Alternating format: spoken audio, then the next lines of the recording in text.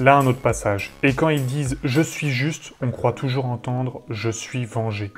Il ne s'élève que pour abaisser autrui.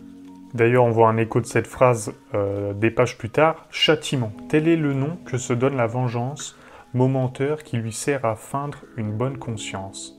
Bon, tu vois, j'avais pas surligné euh, dans mon livre, mais je me souvenais donc du passage des mouches. Lis un peu ça. Fuis, mon ami, fuis dans ta solitude. Je te vois meurtri des mouches venimeuses. Fuis là-haut, où souffle un vent rude et fort. Fuis dans ta solitude, tu as vécu trop près des petits et des pitoyables.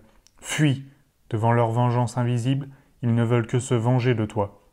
N'élève plus le bras contre eux, ils sont innombrables, et ce n'est pas ta destinée d'être un chasse-mouche. Voilà, je me souvenais, le chasse-mouche, c'est ça qui m'avait fait marrer. Et voilà, c'est là-dessus qu'on a terminé cette vidéo.